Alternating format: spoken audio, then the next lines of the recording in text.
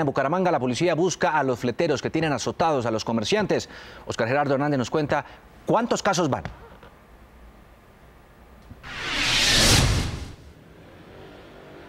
Hola Juan Diego Televidente, muy buenos días. Se han registrado cuatro casos en la última semana en el área metropolitana de Bucaramanga. Uno de ellos quedó registrado en video y se observa cómo cuatro hombres llegan en dos motocicletas y abordan al comerciante que había hecho un retiro de una entidad bancaria. Con armas de fuego lo intimidan y roban el bolso en donde llevaba el dinero. Lo más grave también de toda esta situación es que en el vehículo se encontraban dos menores de edad. Y justamente aquí, desde el comando de la Policía Metropolitana de Bucaramanga, es donde se está coordinando todas estas tareas para identificar esta banda. Coronel, muy buenos días. Eh, ¿Qué tareas han hecho como tal? Muy buenos días. Son tareas y labores en tema preventivo e investigativo. A raíz de los hechos que se han presentado, se vienen haciendo retratos hablados, se vienen haciendo todo un tema de investigación para capturar a los delincuentes.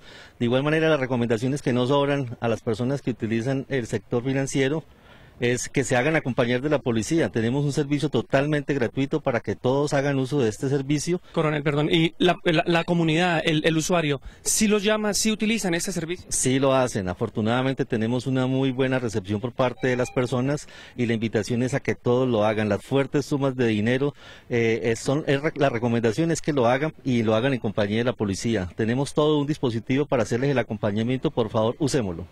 Así es, coronel, muchísimas gracias. Pues aquí es donde se van a coordinar estas tareas para tratar de identificar esa banda de fleteros que tiene azotados a comerciantes en la capital de Santander. En otras noticias del oriente colombiano, organismos de socorro trabajan desde hace más de 24 horas para tratar de apagar un incendio forestal en zona rural del municipio de Puerto Wilches. Se han quemado más de 10 hectáreas de palma y las tareas, pues por las fuertes temperaturas, no han sido, eh, no han llegado a sofocar cada uno de los focos que se han presentado en esta zona del departamento de Santander. Dos noticias para despedirme de Bucaramanga. La primera, en los próximos días se prevé una manifestación en la zona de la Mesa de los Santos contra la concesión vial por el mal estado de la vía y el peaje, que es uno de los más caros que se cobra en esta zona del país. Y también en las eh, próximas horas las autoridades van a dar eh, un reporte sobre el sismo que se registró esta mañana en el municipio de Zapatoca, que tuvo como epicentro el municipio de Zapatoca, pero que hasta el momento pues no han reportado daños en esta zona. Noticias e historias desde Bucaramanga, Oscar Gerardo Hernández, Noticias Caracol.